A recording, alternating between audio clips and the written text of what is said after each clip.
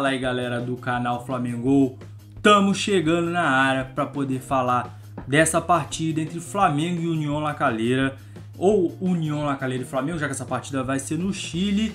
E galera, antes da gente começar, pessoal, você que deixa o like nesse vídeo, se inscreva no nosso canal e também ative o sininho para receber as notificações. Tudo isso é extremamente importante para o nosso canal, mas também é bom para você, para que você fique sempre bem informado de tudo que acontece no Flamengo aqui no canal Flamengo. E galera, é o seguinte, o Flamengo vai para essa partida contra o União La Calera, né, lá no Chile.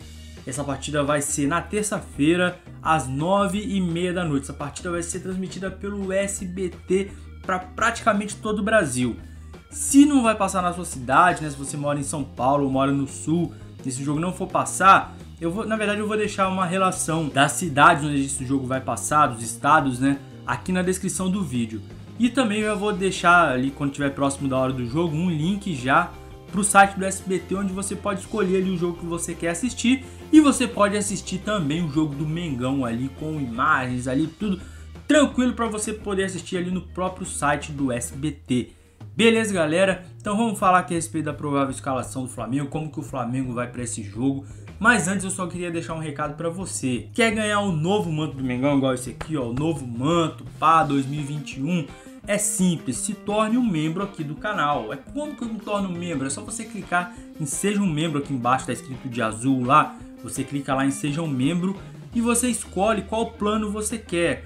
O plano mais barato é 1,99. Com 1,99 você já está concorrendo. 1,99 1,99 você pode ganhar um manto desse. E é para membro, galera, só. Ou seja, não tem quase ninguém lá concorrendo com você. Só você clicar lá se tornar membro por 1,99, meu amigo. Você pode ganhar uma camisa igual essa daqui. Vou mandar direto para sua casa, tranquilo, sem nenhum transtorno. Olha aí que fácil, né? Então, pô, esse é o melhor recado que você poderia estar recebendo hoje. Torne-se um membro aqui do canal. Vai lá. E lembrando que esse sorteio é uma parceria com a nossa loja aqui do canal, que é a Futimantos 90. Se você não quiser concorrer, quiser comprar por um preço bacana, é só acessar futimantos90.com e pronto, você vai lá, compra sua camisa, ela vai chegar aí na sua casa sem nenhum problema, tranquilo, só trocar ideia lá e pronto. Beleza, galera? Então, vamos falar aqui a respeito da provável escalação para essa partida contra o Lacaleira. Por quê? Porque algumas coisas me preocupam aí, cara. Alguns jogadores não foram relacionados porque eles estão lesionados e essas lesões me preocupam. Primeiro, né, no gol, Hugo ou Gabriel Batista? Aí fica a dúvida, né, cara? Porque a gente não sabe, a gente não sabe né, se é Gabriel Batista, se é Hugo, que o Diego Alves lesionou, o cara tá lesionado, né? Infelizmente ele não foi relacionado para essa partida. E você tem o Hugo que entrou completamente apavorado contra a LDU, a gente não sabe em que nível que ele pode entrar nessa partida contra o Lacaleira, né? principalmente o nível de concentração, que é uma coisa importante. Você tem o Gabriel Batista que fez uma baita de uma partida contra o Volta Redonda, jogou muito bem, porém em outros momentos no passado ele falhou bastante. Será que o Gabriel Batista, Gabriel Batista está se preparando realmente para poder voltar a jogar realmente em alto nível, sem falhar e tudo mais?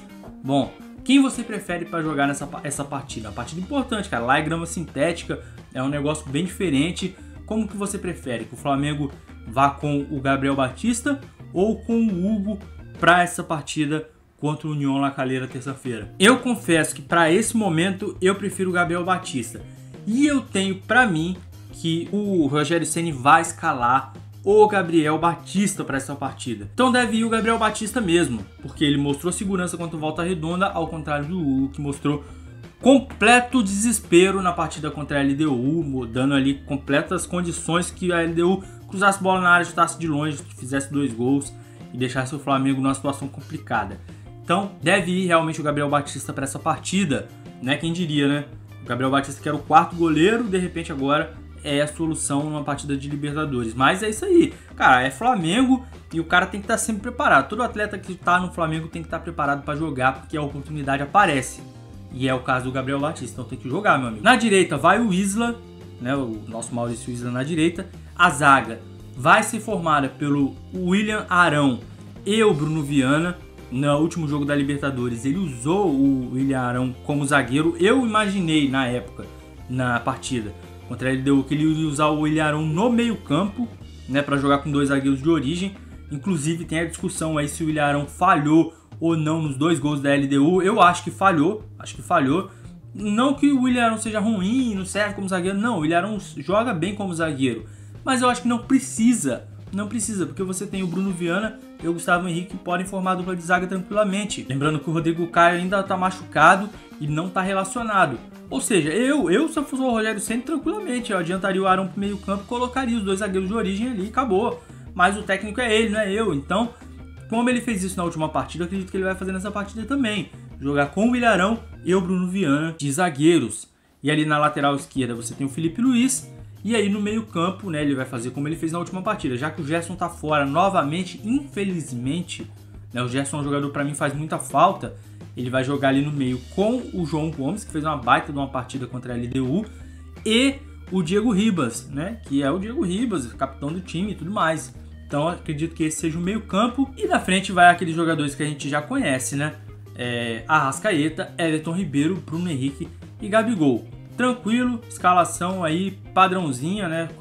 Tirando as faltas aí do, do Diego Alves, do Gerson e do Rodrigo Caio, que são jogadores que são titulares com certeza, titulares absolutos, mas que estão lesionados estão fora dessa partida. Beleza, galera? O Flamengo já foi nesse domingo para o Chile, já está lá concentrado para essa partida. E você, o que, que você acha? Dê a sua opinião aí do placar dessa partida. Eu acho que o Flamengo vence, vence bem, apesar de pô, ser um jogo fora de casa, lá no Chile, grama sintética e tudo mais. Mas o Flamengo é muito mais time que o Lacalheiras, ficou muito claro na partida aqui no Maracanã. O Flamengo venceu por 4 a 1 e eu tenho para mim que o Flamengo vai ganhar e vai ganhar bem essa partida, mesmo ela sendo no Chile. Beleza, galera? Então é isso. Valeu, muito obrigado e até a próxima.